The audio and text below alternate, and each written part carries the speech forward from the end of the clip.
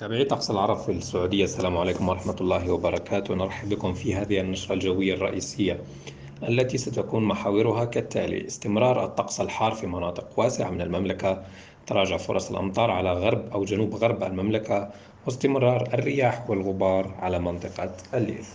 ننتقل الآن إلى صور أقمار اصطناعية ملتقطة خلال ثلاث ساعات صباح اليوم والتي توضح خلو عموم مناطق المملكة من الغيوم باستثناء بعض الغيوم العالية في جنوب المملكة.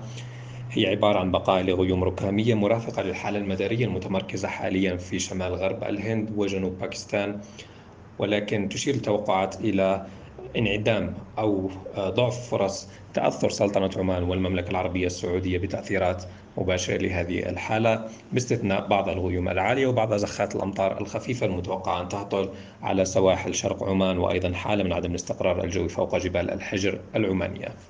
ننتقل الآن إلى خرائط توزيع درجات الحرارة وخرائط توزيع الكتل الهوائية والتي توضح استمرار تمركز كتلة هوائية شديدة الحرارة في في المنطقة الشرقية والوسطى والجنوبية من المملكة وبالتالي طقس حار بشكل لافت مرهق في تلك المناطق بينما تكون درجات الحرارة أقل في المنطقة الشمالية وأيضا في المرتفعات الجنوبية الغربية. ننتقل الآن إلى خرائط حبات الرياح المتوقعة خلال عطلة نهاية الأسبوع أي خلال يومي الجمعة والسبت. نركز هنا في منطقة الليث حيث يستمر هبوب الرياح الشمالية الغربية بشكل يومي خلال ساعات الظهيرة والعصر.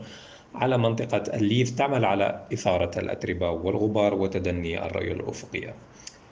أما بالنسبة للتوقعات الجوية للعاصمة الرياض خلال هذه الليلة حيث تتفرق بعض الغيوم مع 31 درجة مئوية أما بالنسبة للأيام القادمة تحديدا خلال عطلة نهاية الأسبوع وحتى يوم الأحد تسجل العاصمة الرياض كحرارة عظمى 44 درجة مئوية أما الصغرى تكون بين 31 و 32 درجة مئوية مع تفرق بعض الغيوم أما يوم الأحد 43 درجة مئوية مع غبار خفيف أما ليلا طقس غائم جزئي مع 31 درجة مئوية.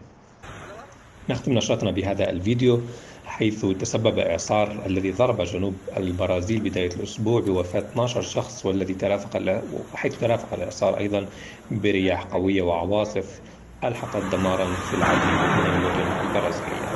إلى هنا تنتهي نشرتنا إلى اللقاء.